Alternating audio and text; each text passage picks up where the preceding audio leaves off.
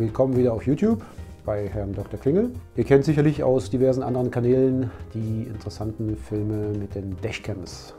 Da gibt es so einige mehr oder weniger lustige Videos über Verkehrsunfälle. Das ist für den einen oder anderen manchmal sehr hilfreich, um nachzuweisen zu können, was passiert ist. Wie ist denn da wirklich die Rechtslage? Da bin ich in der glücklichen Lage, Ihnen über ein aktuelles Urteil berichten zu können. Das Oberlandesgericht äh, Nürnberg hat entschieden, und das habe ich heute in die Hand bekommen, dass äh, Dashcam äh, genutzt werden kann, um damit zu beweisen, wie das Unfallgeschehen gelaufen ist.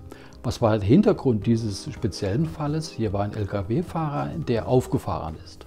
Und jeder kennt ja diesen Grundsatz, wer auffährt, ist schuld. Und so hat auch derjenige argumentiert, auf den der Lkw-Fahrer aufgefahren ist.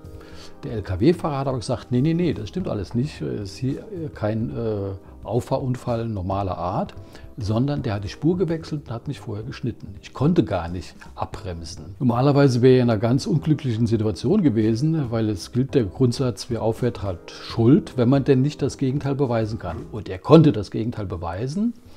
Weil er eine Dashcam hatte. Und zwar Voraussetzung, damit dieses auch verwertet werden kann, war, dass die Dashcam, so äh, das Urteil, eine fest eingebaute ist. Wo werden die äh, Dashcams angebracht? Meistens am Fenster oder am Armaturenbrett. Und dann ist sichergestellt, dass diese Aufnahmen dann auch verwertet werden können. Ich kenne jetzt kein Urteil, betreffend Dashcams, äh, die über mobile Apps äh, funktionieren. Aber hier hat das äh, Gericht ausdrücklich entschieden, bei fest eingebauten Dashcams ist der Film verwertbar.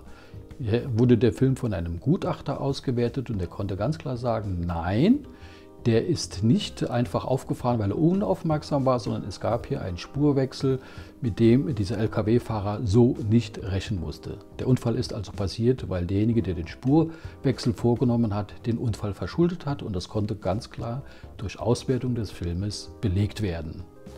Das war jetzt für mich äh, überraschend, aber auch sehr informativ. Denn ich hatte aus der Presse ganz andere Informationen vernommen, werde aber jetzt natürlich mal ganz gründlich darüber nachdenken, wie ich mein Auto jetzt richtig ausstatten werde. Gibt es da bestimmte Empfehlungen, die Sie mir geben können? Da kann ich Ihnen nur empfehlen, sich im Einzelhandel ordentlich beraten zu lassen. Dann werden Sie die richtige Wahl treffen. Und wenn da noch mal etwas passiert, dann werde ich Sie als Anwalt natürlich gerne vertreten können, weil dann ist der Erfolg vorprogrammiert. Das freut mich. Also, auf ein Gutes. Bis dann. Tschüss. Ciao.